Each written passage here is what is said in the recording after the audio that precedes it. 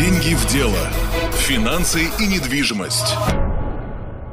Добрый день, у микрофона Мария Кожевникова, а напротив меня Александр Шевалдин, руководитель отдела продаж недвижимости «Делай деньги». Александр, добрый день. Добрый день, Мария. Ну, как бы не хотелось, но, к сожалению, не каждую квартиру легко продать. И зачастую не только в рыночной ситуации дела, но и в особенностях самого объекта. И сегодня попробуем разобраться с продажей какой квартиры могут возникнуть сложности и как их решить.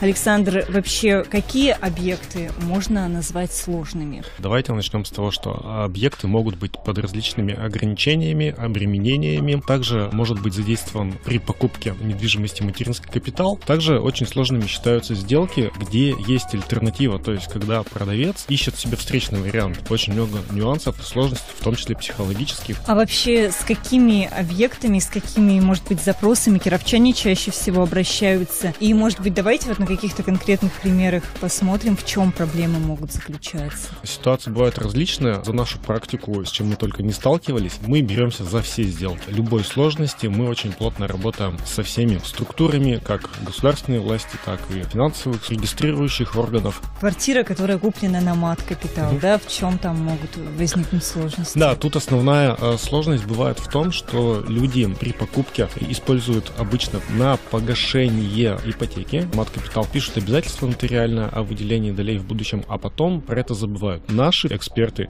обязательно проверяют, был ли использован при приобретении материнский капитал, соблюдены ли а, процедуры все по выделению этих долей и потом получено ли разрешение, ну или мы помогаем получить разрешение на продажу этого объекта через органы опеки. А если еще по примерам, допустим, квартира, которая в ипотеке находится? Да, такие ситуации тоже возможны. Тут надо просто знать некоторые нюансы. Есть мнение у некоторых людей, да, что если они квартиру купили в ипотеку, то ее невозможно продать, пока не будет погашена эта ипотека объект. Но можно реализовать этот объект и взять ипотеку на другой объект недвижимости, тем самым улучшить свои жилищные условия. Проблемы сложностей не возникают, когда есть понимание схемы сделки, как это будет происходить. А, допустим, незаконная перепланировка? Есть два варианта. Перепланировка, которую нельзя узаконить, то есть мы предостерегаем покупателей наших от таких приобретений. И есть просто перепланировки, которые сделаны, но не узаконены. Если узаконить можно, то мы понимаем, как это сделать, и тоже можем решить эти вопросы.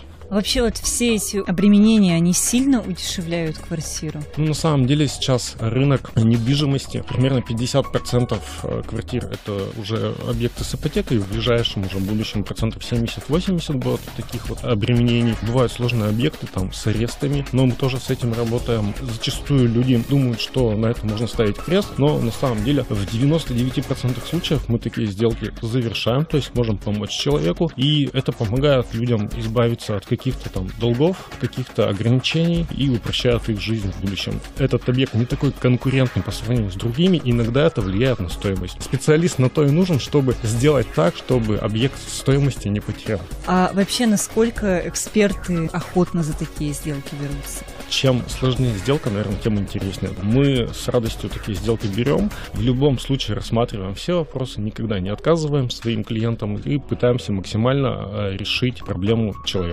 Ну, в общем, главный вывод, который я делаю, да, таких сделок бояться не стоит, не стоит ждать те 20-30 лет, когда закончится ипотека. Можно уже сегодня ипотечную студию поменять на хорошую, комфортную квартиру. Все верно. Да, все верно. Обращайтесь к специалистам, мы всегда поможем. Компания делает деньги. Телефон 4 семерки 69. На этом, думаю, мы и закончим. Александр, спасибо вам за разговор. Доброго дня вам, доброго дня всем слушателям. Доброго дня, Мария. Деньги в дело. Финансы и недвижимость.